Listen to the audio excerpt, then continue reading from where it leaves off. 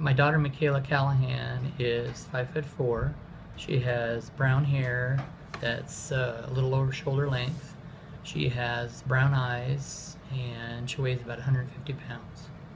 She's wearing a, a, lo- a long blue jeans, uh, a multicolored short sleeve shirt, and um, sandals, brown sandals. And we were traveling from Modesto up to Bremerton, Washington. Uh, we had just moved my son-in-law down there because he got a new teaching job, and we stopped in uh, Redding because we were tired, and we just spent the night. We got here about 9:30, 10 o'clock, and um, and then we were going to head the next morning early and head on out to Bremerton.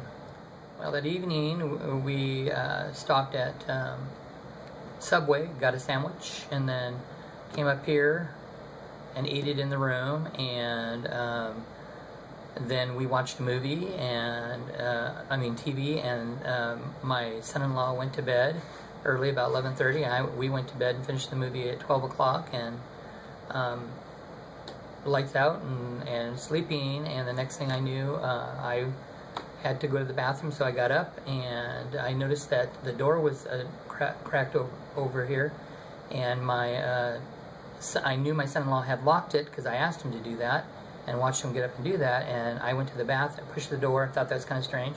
I went to the bathroom, came back out, and noticed that my daughter was not laying in the bed. And uh, then I uh, immediately told my son-in-law, "Get up! We need to look for Micheala. She's not here." And uh, so we quickly looked up and down the hallways, quickly ran outside. I let the people in the front know. And then um, when we didn't come up with it, then immediately I asked them to dial 911 so I could call. And so they did that up in the front office. And um, soon after, the police came, and um, I went ahead and told the detective after that.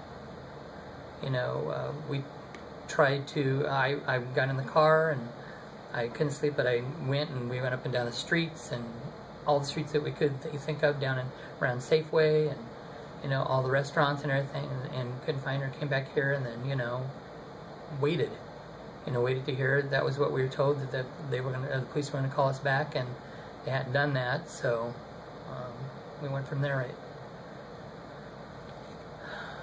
You know, we've been we've been to the hospital, both hospitals to check on and see if she's been there.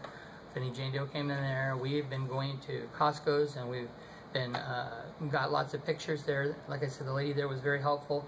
When we just called her, she's printed off a bunch of pictures and they were ready for us. And we've gone around walking up and down the streets and, and distributing them to different hotels. We have other uh, uh, the church here, local Seventh Day Adventist Church, is coming and they're passing out, uh, been passing out uh, pictures of her and that to uh, area hotels and other people, homes that are around in the area and stuff.